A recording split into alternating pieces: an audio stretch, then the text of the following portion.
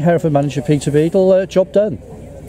yeah, yeah, it was uh, exactly what we expected. Tough game. I thought Westfields played superbly first half and give us a little bit of a runaround. To be fair, give us a bit of our own treatment. I thought they played ever so well, um, but we managed to we managed to hold out until half time.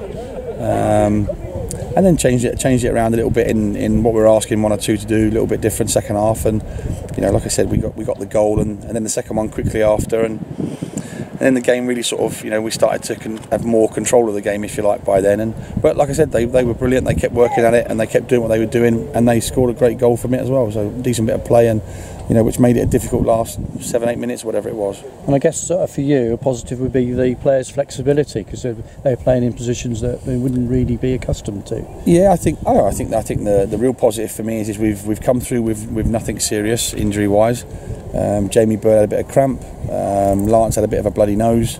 Other than that it'll just be kicks and knocks.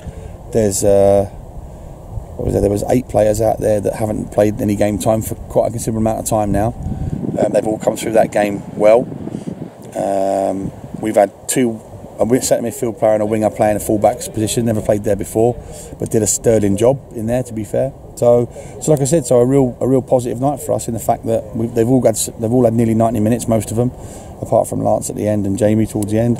Um, we've got the result, although you know, like I said, maybe it could have been you know maybe closer than that. I thought, as in the fact that you know, first half they said they certainly were better than us, and second half I thought we maybe just shaded it, you know, a bit more clinical second half. But but um, but all in all, like I said, a good game, and, and like I said, we had we had we had lots of pluses out of it. Is Jamie Bird claiming a goal on his debut? For me, it was a known goal. A goalkeeper at the last touch, well, surely. Well, I can't see from that far away, so it's a long way away for me. That so, uh, but I, I don't know. You have to ask him that. I'm sure he'll claim it. And Lance Smith, another deflection, but uh, he put in a good shift until he got that bloody nose. Yeah, I think they all did. I mean, like I said, they, they were they were all you know working hard. First half, I thought the tempo was a bit slow, and but maybe that's because they're a bit rusty. They're trying to get that rust out, and they're trying to you know clean the pipes a little bit, if you like. So, like I said, so it took us a little while to get going, but I thought second half we started better and then uh, and then we got the first goal, then the second one quickly, and, and we sort of got into a bit more rhythm then, and, and we controlled the game better then as well. So, like I said, it was I'm really pleased with what they've done and what the shift they've put in, especially those that haven't played much game time. And